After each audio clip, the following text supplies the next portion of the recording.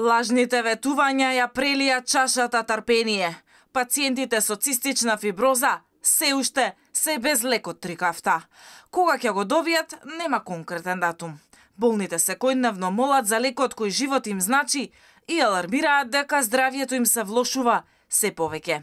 Мајка на 17 годишно дете, кое боледува од цистична фиброза, револтирано прашува до кога ќе ги чекаат бирократските процедури. Значи се соочуваме, немаме центар за ЦЕФ, еве и ослободувањето од партиципација после 26-та година што сега е поднесено за измена.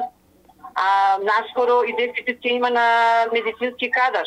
Еве докторката во пензија ќе оди. Пратеничката група на ВМРО ДПМН е предлага законски олеснувања за лекување на болните од цистична фиброза, а со тоа и да бидат ослободени од плаќање на партиципација и патарини. Со овие измени, терапијата требаше да ја добијат сите болни од цистична фиброза, но тие се уште се мачат и не може да го добијат лекот трикафта.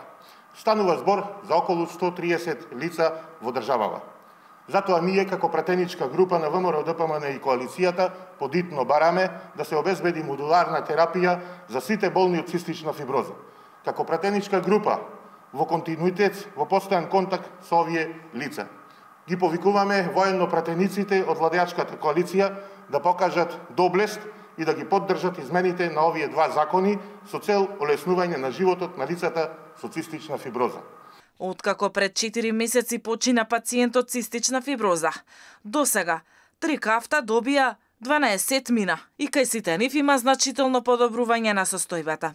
За време на последниот протест на почетокот на мај, од финанси добиле ветување дека владата обезбедила пари за уште 18 пациенти, а лекот го чекаат уште 130, меѓу кои има и деца.